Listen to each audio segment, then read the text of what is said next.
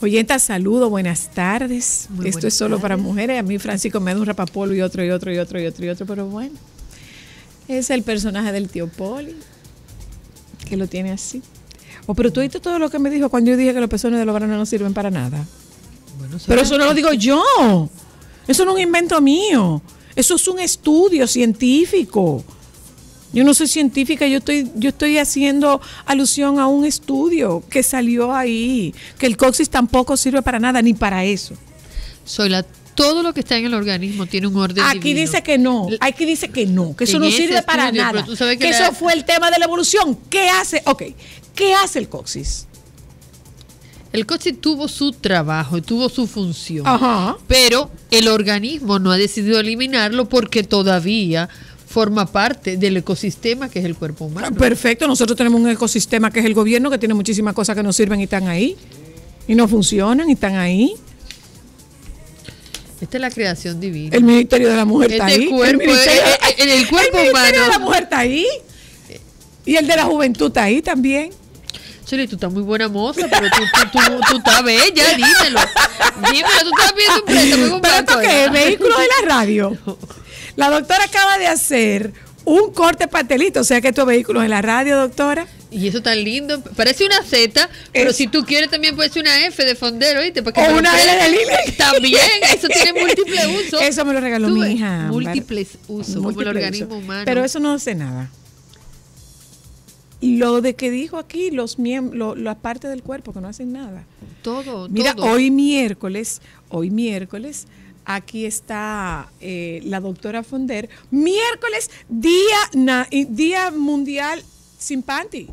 Ay, qué maravilla, qué maravilla. Pero es ella que lo promueve, la doctora que lo promueve. ¿Cuál es tu fuente? ¿Cuál es tu fuente? Yo tengo varias fuentes. Porque la verdad es que yo no lo había visto. Yo lo que pasa es, doctora, que comparte. Hay un refrán que dice, hay un refrán, hay un refrán que dice, doctora, que los locos no duermen y cuando duermen están aliviados yo no estoy aliviada.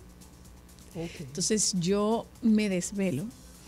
Estaba, pues tenía una reunión muy importante esta mañana. ¿Se te nota? muchas gracias. ¿Se lo dieron el préstamo seguro? No, no, doctora. Estaba, estábamos presentando los programas de el, bueno, del despacho de la primera dama a una comisión internacional que hay aquí. Entonces estábamos presentando también nuestro proyecto, que es un proyecto del despacho de la primera dama, el proyecto de SENASI, que es el Centro de Atención Psicosocial de La Victoria.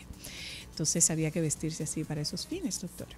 Entonces estaba despierta, estaba desvelada esta madrugada y entonces, eh, cuando yo me despierto, en vez de ponerme a dar vuelta como una loca en la cama, utilizo el tiempo para leer. Yo veo, sigo varios portales, eh, sigo varias cuentas eh, de periódicos, sobre todo de periódicos, y me mantengo informada de las cosas que ocurren alrededor del mundo y vi que era el día eh, era el Día Mundial sin Panty. Entonces, hay un escarceo y un escándalo porque hay un Día Mundial sin Panty. La doctora ha explicado el uso terapéutico que tiene andar sin panty. no lo digo yo, lo dice la doctora Fonder, que está avalada. ¿Cuáles son las repercusiones de ese día? No tengo idea, porque, si, pudiera mandar, porque... si pudiera mandar sin panty enseñando que andamos sin panty. Porque yo la verdad que recomiendo dormir sin ropa interior. Que quede bien claro para que no haya malos entendidos. Dormir, no. Dormir sin ropa interior. Sí, soy la. Porque la vagina necesita respirar. Ahora, si tú duermes en el día, ah, eso es tu problema. Sin panty también. Claro, claro. Hay algo que también quiero recalcar porque a veces quizás no me expreso lo suficientemente bien. Cuando hablamos del vello público varias veces lo he dicho que si usted quiere afeitarse, depilarse con crema, depilarse con cera o con láser es su derecho. Lo más recomendable es que sea con láser porque van a ser menos veces y usted va a estar más tiempo sin el vello púbico. Pero el vello púbico tiene una función y como médica yo tengo que compartir que la función del vello púbico es la protección protección de un golpe, de un trauma, protección de un pantalón que te quede muy justo y te va a proteger el vello púbico.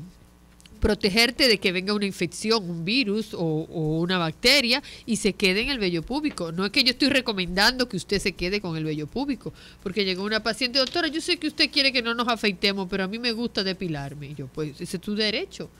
Ese es tu derecho, pero... es un tema de derecho. Hay, hay, muchos varones que están en contra de usted por eso, doctora. Mi amor, pero es que yo no estoy Hay muchos varones que están en contra eh, de la usted verdad que por yo no sé cómo explicármelo. Solo varones. De, usted se va por el lado de los varones. Eso que usted tanto quiere, que tanto ama y que tanto defiende. Ay, sí. Ellos Ay, son los que, dicen... necesario. Ellos son los que dicen, pero esa doctora es como tan extraña. ¿Cómo ella manda que las mujeres anden Pero es que yo no estoy barbudas? mandando. Yo no estoy mandando. Yo no estoy mandando. Mira, yo, yo le estoy diciendo cuál es la función. Si usted no lo quiere beneficiarse, ese es su derecho. No, doctora. Pero eso tiene una función. No, hombre, ya eso está funcionando cada vez menos. Bueno, pero yo como médica estoy aquí para darte toda la información. Ahora tú tienes libre albedrío. ¿Cómo fue yo? El hombre lobo usa bello ya.